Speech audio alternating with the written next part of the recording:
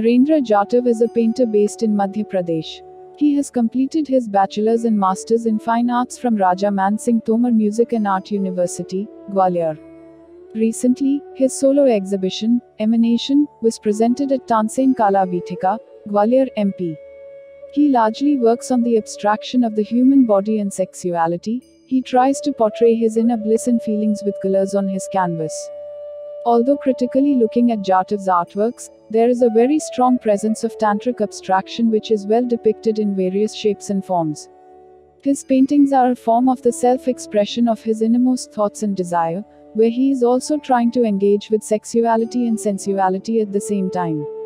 While talking about his work, he says, In my work, reproductive organs are the main form. In addition to this, there are also some other forms in my works that I experience in the unconscious state. Though these forms get changed with time, I feel to be connected with them. I understand the nature of those shapes with the creation of images slowly. I could feel the energy that inspires me to create a picture. I feel bliss, just like a couple feels through their physical relationship. In my paintings, lotus and fish appear somewhere which shows purity and origin respectively. Jatav's paintings move towards a lot of symbolism, as it draws from the tradition of Tantra art, there is both chaos and silence in its form.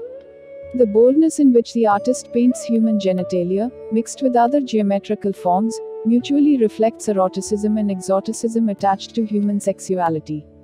There is an amalgamation of raw desire, enigmatic expression of self, and the transparency of the soul. It reflects on the desire of a human body as well as the purity of the bond that a couple shares, which is not limited to the spectrum of gender. His works are open to interpretation for people looking at the abstraction of form, pellucidity of the colors used, and erotic disposition of the human body. नमस्ते मैं नरेंद्र जाटव मेरा जन्म मध्य प्रदेश के एक छोटे से गांव रूपनगर बहेरिया जो अशोकनगर जिले में आता है मुझे बचपन से ही चित्रकला में रुचि थी, क्योंकि हमारे पड़ोस में रहने वाले एक चाचा जी नवरात्रि में माता की मूर्तियों का निर्माण किया करते थे, और मैं उन्हें प्रतिदिन काम करते हुए देखता था।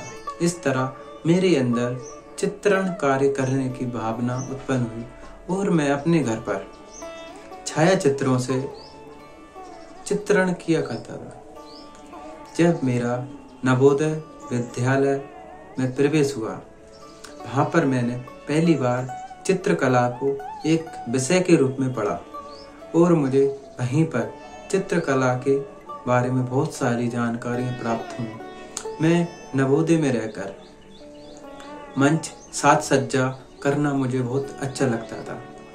जब मैंने 2013 में ग्वालियर स्थित राजा मानसिंह तोमर संगीत एवं कला विश्वविद्यालय प्रवेश लिया बी के लिए।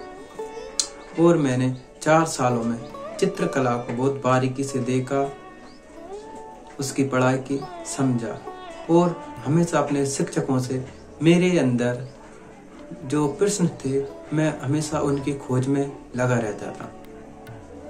मेरे शुरुआती चित्र देखे जाएँ तो वह भगवान शिव से संबंधित हैं, क्योंकि जहाँ मैं रहता था, वहाँ पर ग्वालियर का सबसे ऐतिहासिक शिव मंदिर है अचलेश्वर नाथ वहाँ पे मैं सुबह शाम भक्तों की भीड़ देखता था और इसी भीड़ से मेरे अंदर एक भावना उत्पन्न हुई कि मुझे भी कुछ इनसे संबंधित चित्र बनाने चाहिए और मैं इसी की खोज में निकल गया। मैं कई महीनों तक शिव पुराण का अध्ययन किया। एक समय ऐसा आया कि मुझे ऐसा लगने लगा कि इसमें जो भी कुछ है, सब अतिशोक्ति है और मेरा इसी तरह मैंने अपनी उस यात्रा को बीच में ही रोक दिया। जब मैंने खजुराहो की यात्राएँ की तो मुझे खजुराहो के मूर्ति शिल्पों ने बहुत प्रभावित किया और मेरे चित्रों में अचानक से शिल्पों के रूप नई आकृतियों के रूप में जन्म लेते हैं। और मैं उसी यात्रा को चालू करता हूँ। अभी भी मैं उसी तरह से कुछ काम कर रहा हूँ। कलाकार के जीवन में एक समय ऐसा आता है कि उसके अनुकूल परिस्थितियाँ नहीं होती हैं। वह फिर भी संघर्ष करता है।